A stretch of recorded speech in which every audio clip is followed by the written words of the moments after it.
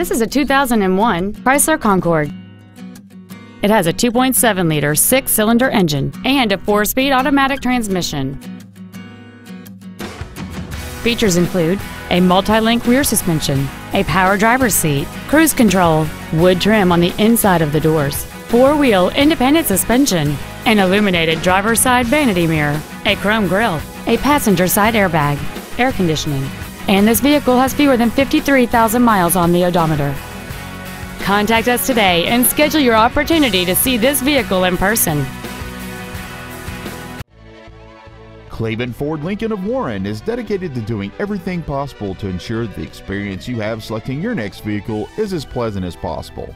We are located at 3853 Youngstown Road in Warren.